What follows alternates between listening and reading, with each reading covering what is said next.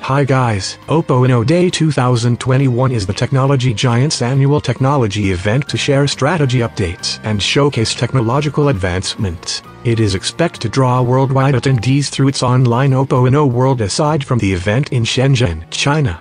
Day 1 of Oppo's Inno Day has concluded and we saw several noteworthy developments on stage with the new Airglass R monocle and Mari Silicon X NPU. Oppo showcased its retractable rear camera prototype device. The big breakthrough here is that Oppo managed to fit the large one 1.56-inch 50-megapixel Sony IMX766 sensor in a 8.26mm thick phone. One downside is that the fancy tech is only available once the camera retracts so it's useless in its stationary position. As for the use case of a moving sensor, it allows for more distance between the sensor and the actual lens. The 50mm equivalent module offers 2x optical zoom which captures more detail from the flagship sensor compared to a regular telephoto module. Another added benefit comes in portrait shots which offer more natural look and better subject and hair separation. Oppo is also touting superior signal-to-noise ratio from its zoomed shots which is specifically useful in nighttime shots. The entire contraption and its moving bits are splash and dust resistant and can retract automatically in 0.6 seconds if dropped. Oppo has plans to bring this tech to its future devices, though we don't get an actual time frame for when this might happen.